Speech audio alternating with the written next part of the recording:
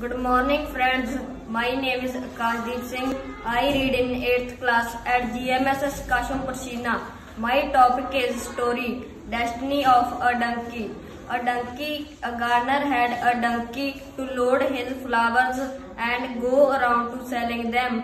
One day the donkey thought that his master made him overwork.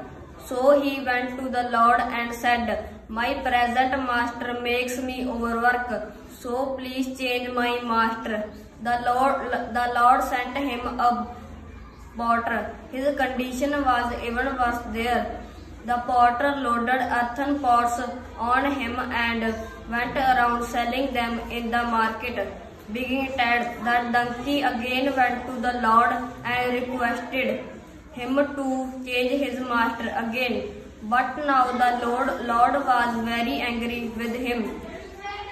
The, the Lord sent him a butcher. The butcher saw the donkey and said, Your skin will yield good leather.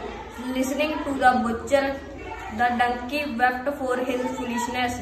Moral, wherever you are at, the present is the best place for you. Thanks for watching and have a nice day.